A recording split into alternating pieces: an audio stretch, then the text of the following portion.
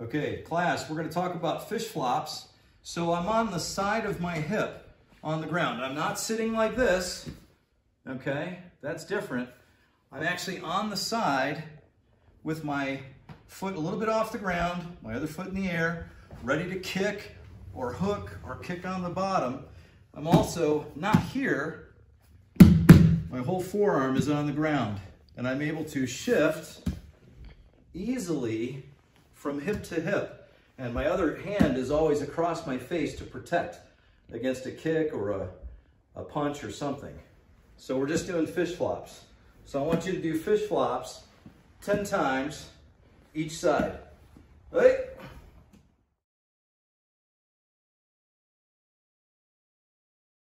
Class, I'm going to teach pop-up disengagements or getting up quickly from the ground and getting away from the person that's trying to attack you, okay? So what you want to do is you want to put your foot down as close to your anza, your bottom as possible. Keep your hand up. Put this hand from uh, the forearm back up. You're to pop your, pull your, literally lift yourself off the ground pull yourself through. Try that again.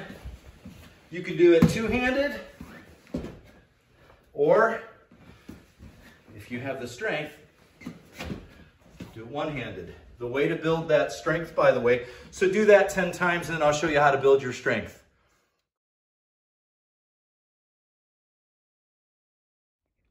So class, we're in a fish flop position and some of you were asking, how do I learn how to get that one hand and push myself off the ground?